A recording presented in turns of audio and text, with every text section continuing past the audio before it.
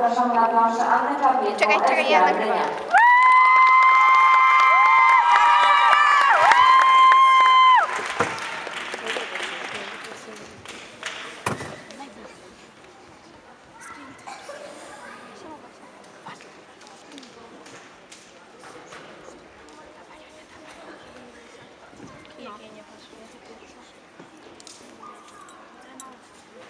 Thank you.